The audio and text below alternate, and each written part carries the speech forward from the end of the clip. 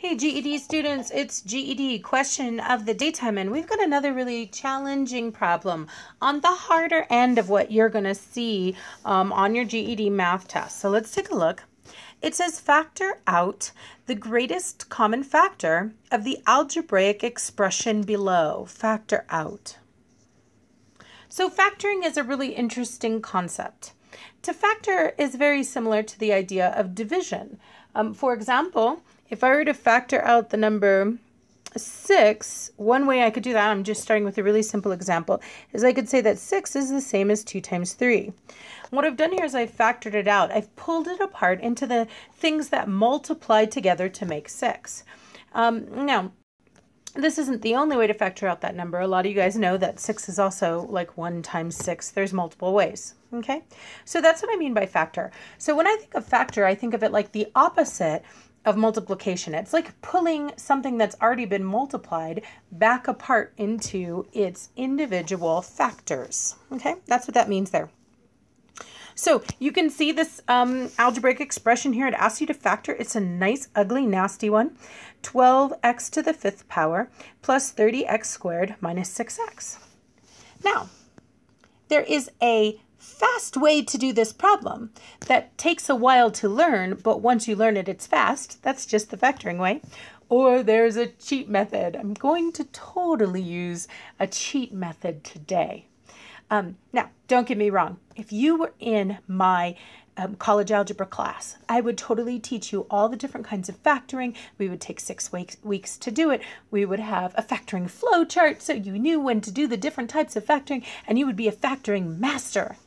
But when I'm prepping for the GED, which has only a couple of factoring problems and they're usually multiple choice, I often teach my students to cheat by working backwards. A great test taking method is if you don't know how to work forwards, work backwards. And we said factoring was the opposite of multiplying. So instead of factoring this expression right up here and pulling out that uh, greatest common factor, I could actually work backwards and do some multiplying.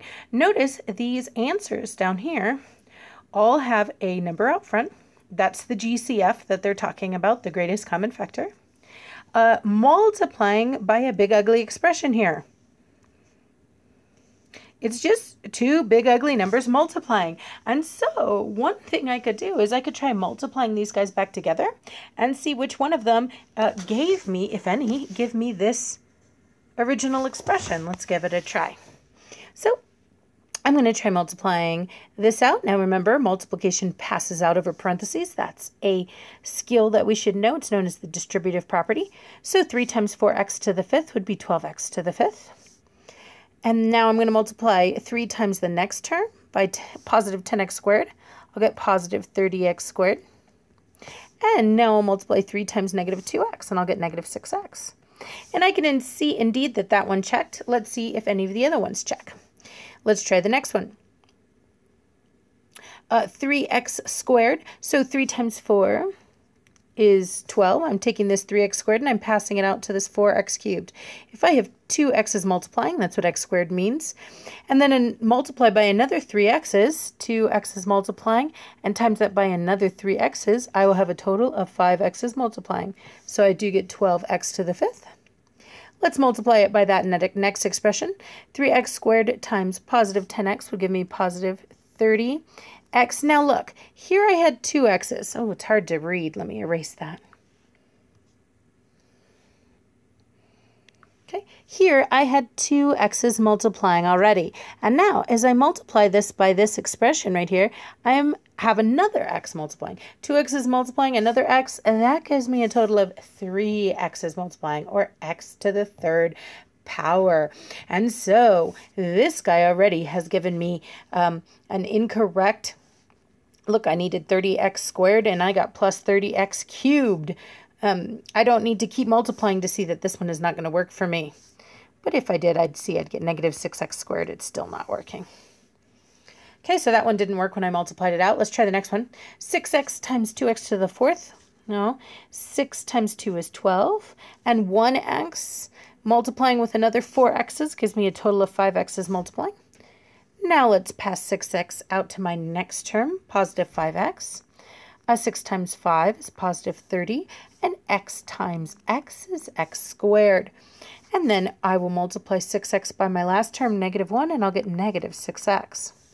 This guy also checks. 12x to the fifth power plus 30x squared minus 6x. This is a possibility. Now let's try the la last one.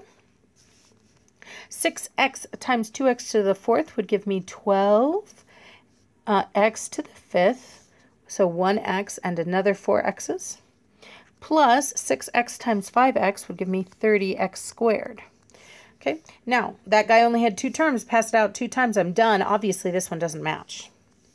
So I'm left to A or C. Both A and C are factored versions of the original expression. But look what I was supposed to do. I was supposed to factor out the greatest common factor. Take a look at this one. This one I just pulled out a 3. Take a look at this one. This one I pulled out a 6x. I've definitely pulled out a greater common factor. C is the correct answer here. C is the correct answer here. Now, I'm done with my cheat method here, but um, for those of you who did not like my cheat method and want to just go straight to factoring, I'll do that real quickly for those of you who haven't tuned out yet. So let us clear this little screen here. Okay, so you say, Kate, I don't want to do it the long way and do all that multiplying. The long, slow, easy way, I call it. I want to just go straight to the factoring. Okay, here we go.